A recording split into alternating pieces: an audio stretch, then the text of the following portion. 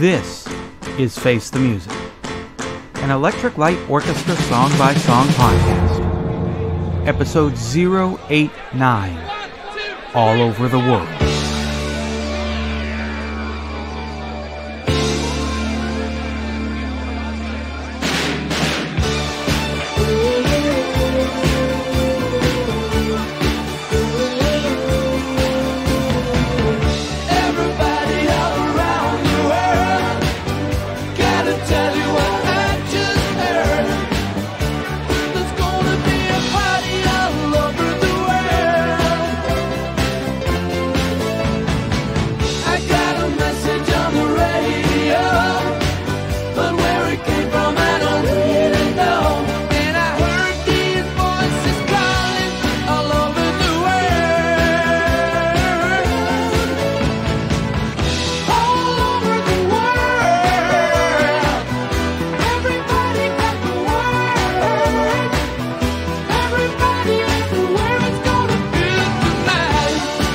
That song all about? All Over the World is the fourth song on side two of Xanadu. In the January 21st, 2016 Rolling Stone article, ELO's Jeff Lynne, My Life in 15 Songs, Jeff said, I wrote half the songs in the film, though I've never seen the thing. It was supposed to be really bad, but I'm really pleased with the music. The song never lets up, and it's very catchy and optimistic. I don't think I'll ever see the movie after reading the reviews. I took it because I thought, well, I like Olivia Newton John. She's great. It would be nice to meet her. The French lyrics, C'est la vie avec beaucoup of thé, translates to Such is life, so have a bit of tea. In the November 2018 book, Wembley or Bust, Jeff wrote, The lyrics are just nice names to sing Paris, Rio, and Amsterdam. And then finishing the list with Shard End is funny because it's just a little housing estate in Birmingham. I like silly stuff occasionally. In fact, Shard End is where Jeff Lynne was born and lived as a child. In the December 2011 biography, Patterns in This Chaos, David Scott Morgan wrote, He was in the middle of recording the music for the film Xanadu at the time, and while I was out there, I got to help out on the demo for the song All Over the World. It was just exhilarating, watching the process of making a record at that level. Jeff and Richard worked so hard at it, going over the song time and again, making small changes, patiently listening for that time when it sits right and doesn't make you lose equilibrium. You know, fall off your stool. In the movie, the song plays over an 80s montage of Kira and Sunny taking Danny clothes shopping to update his look for the Xanadu club opening.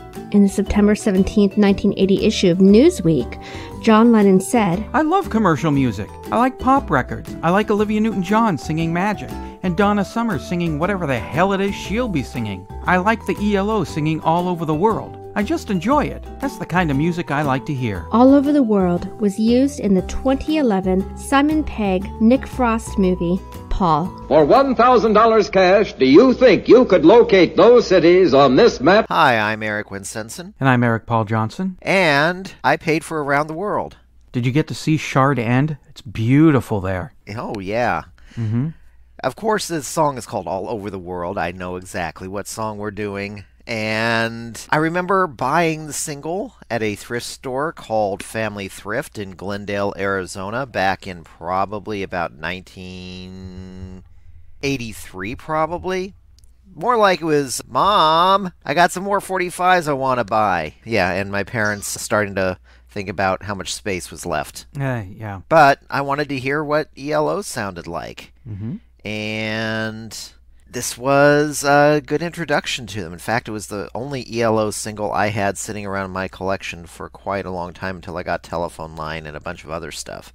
This actually almost made me want to see the movie Xanadu. Keep in mind, I was probably about 11 or 12.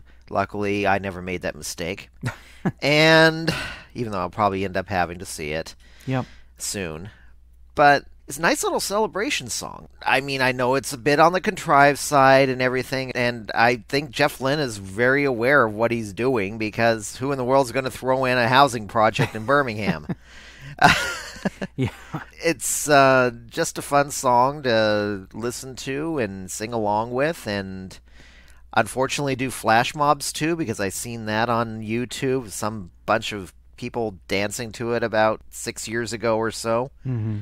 But it's one of those songs where uh, you, I mean, yeah, you could pick it apart and nitpick it and everything about how it was aimed at being a hit and everything, but why? it's an actual good song. It makes you feel happy when you're listening to it, even if there is a bit too much gating on those drums at the beginning. That's about the only musical thing on there that I have a problem with. But otherwise, yeah, it, it's always been one of my favorite ELO songs and just puts a smile on my face listening to it. Well, that's good. As for me, we've hit that song on the album. This was the first ELO single I bought, probably August 1980, maybe July. So I heard it a lot. And I was 11 years old. So I listened to Top 40 Radio, where I also heard it a lot. So I heard it a lot. And at some point it just came to be eh, all over the world. So it's a song that I never really look forward to listening to. And then it starts and it hits. And it's like, oh, hey, wait. There was a reason why I bought this single and listened to it a lot, and why it got a lot of airplay. It is a frickin' fun song. It's great fun to listen to. It's perky, it's upbeat, yeah, it's a happy la la song, but so frickin' what? What's wrong with having a fun little happy song here? I mean, especially after following "Don't Walk Away." That's a that's a downer of a song. Beautiful that it is, but it's fun. I like it. I even like the drums. I like that nice little break in the middle where it's it's uh, for my ears. I have to remind myself that those are strings plucking and not ukuleles.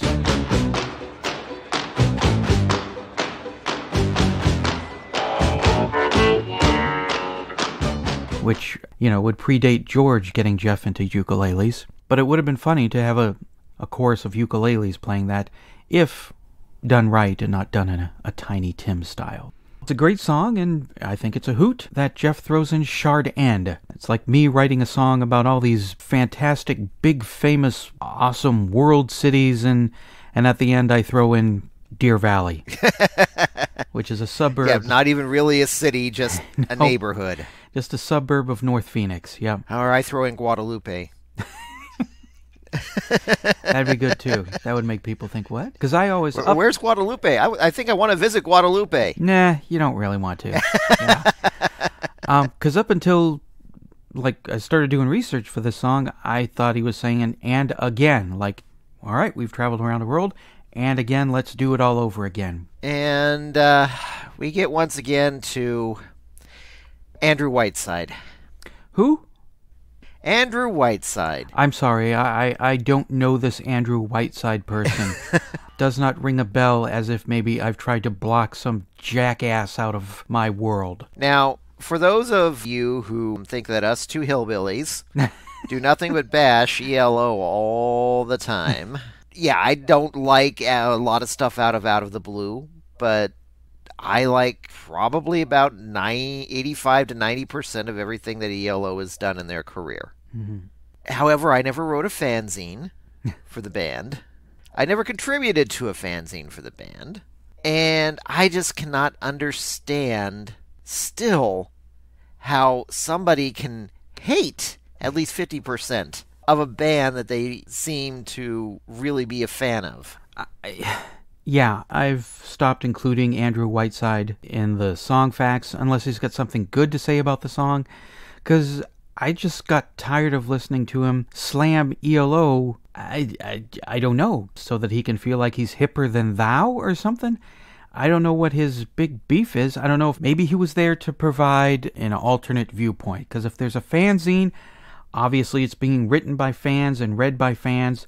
So maybe to keep the fanzine from seeming too gushing over ELO, they got this curmudgeony, cranky fusspot who could write, and said, "Here, listen to ELO. Tell us how much you hate them, so that we have some sort Yes. of balance in the force." I'd swear he was a writer for uh, Rolling Stone. See, yeah, yeah. I've been looking ahead a little bit for some of the stuff in time, and yeah, I was seeing some of that stuff that I, we'll save it for those podcasts. For people like me who just glossed over Andrew Whiteside, what did he say about all over the world? He called it lifeless, a derivative, and a, an obvious attempt at a hit. First of all, shut the hell up, you idiot. Second of all, yeah, obvious hit, of course. This is for a soundtrack for a pop album, and when you have a sound or a pop movie, and when you have a soundtrack for a movie that's rock based, the people who make this movie, they're going to want every song to be hit worthy, chart worthy. An excellent chance of making the top 40 to keep people aware of the movie, no matter how much it bombs, and to, gener- Exactly. to generate more hits, to sell more albums, sell more singles. I know there are people that uh, uh, movies art form, but for the people who run the movie studios, this is money, and that's what they're in it for. So if they're going to dump a bucket of money at big name stars like Olivia Newton John and Gene Kelly and ELO, they're going to want to make sure they're going to get their bucket of money back. Especially if the movie tanks, money can still be brought in by the soundtrack. So, yeah, adoy. Just about every song is going to be top 40 worthy. Whenever you go away from me, not so much, because it's a, a kind of a mid tempo big band kind of thing, which goes with the movie. Whenever you're away from me, wherever you go, you're never far away from me. But for the rest of it, especially the ELO stuff, yeah, you're not going to get a swing song out of ELO. You know what you're hiring ELO for. ELO knows what they're being hired for for Xanadu. So give us the hits, monkey boy. And if you're complaining about something being an obvious radio hit, well, there could be so so much worse than all over the world. In fact, all over the world, I would say, is an example of how you can have a good song and have a hit out of it as well. Mm-hmm. Again, Andrew Whiteside. I'd say shut your freaking pie hole, but you already opened it 25 years ago, so there's nothing I can do about it now. Got something to say about all over the world? Then call the telephone line voicemail. 623-850-3375. Call now. Was it a hit or was it?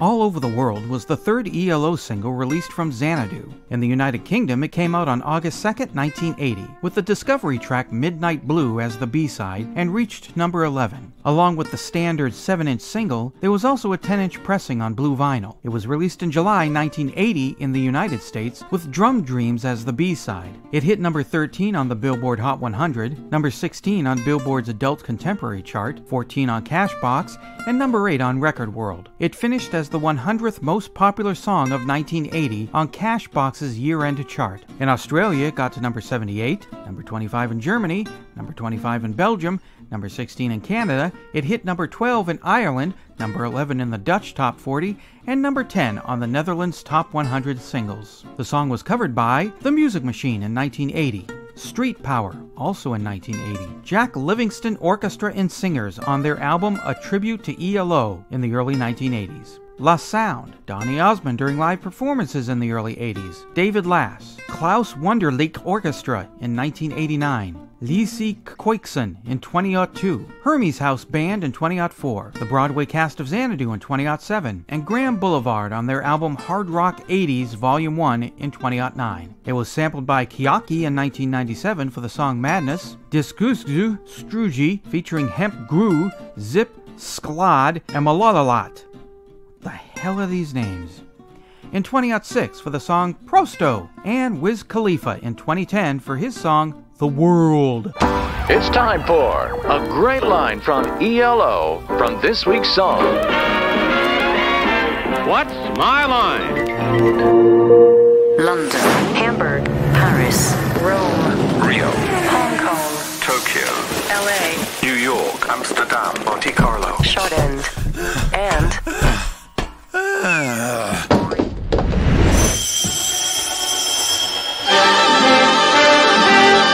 And now for a thought from Troy. You know, All Over the World is one of my favorite ELO songs, and I would like to talk to you about its place in the movie soundtrack.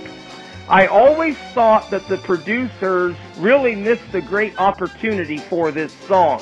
Now, I don't remember the scene too much where the song was used. I remember Gene Kelly trying on a tuxedo at some clothing boutique, and that's all I remember. And I always thought that song was wasted.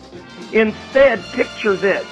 I think they should have had a big red carpet gala the night that Xanadu opened up to the public.